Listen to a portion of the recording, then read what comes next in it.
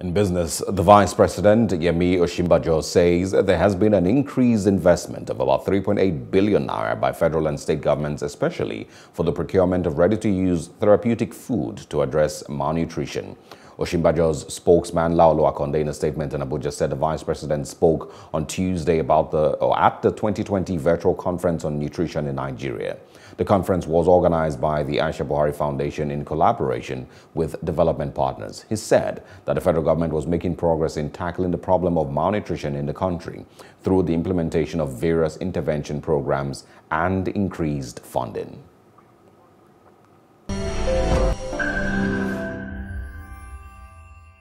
That the federal government was making progress in tackling the problem of malnutrition in the country through the implementation of various intervention programs and increased funding.